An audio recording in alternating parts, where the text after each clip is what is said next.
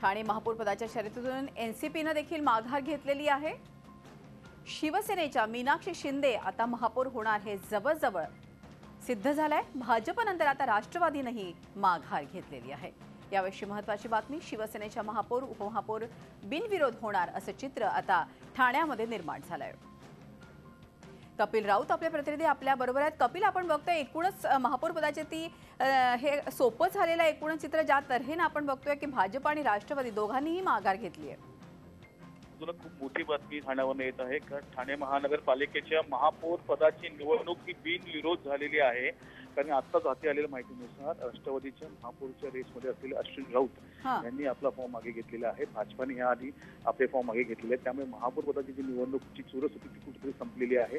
आणि एक हाती सत्ता घेतल्यामुळे सेनेचा हा फायदा आहे. सेनेला फायदा झालेला आहे. आणि त्यामुळे आता ही निवडणूक बिनविरोध होत आहे असंच आपण बोलू शकतो मी तुला. सर्वात महत्वाचं म्हणजे इथे ठाण्यामध्ये खूप शिवसेनामय वातावरण झालेलं आहे भगवामय वातावरण झालेलं आहे. म्हणजे आपण चेकनॅकपासून सुरुवात केली. तर चेकनॅकपासून ते ठाणे शहरापर्यंत सर्वीकडे भगवे झेंडे लावले लावण्यात आलेले आहेत.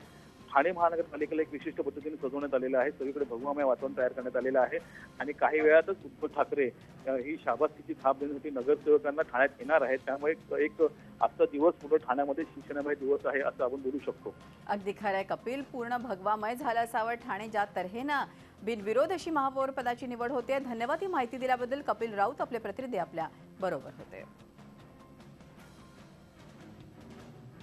भाजप राष्ट्रवादी या दोनही पक्षांनी महापौरपदाच्या निवडणुकीमधून माघार घेतलेली आहे.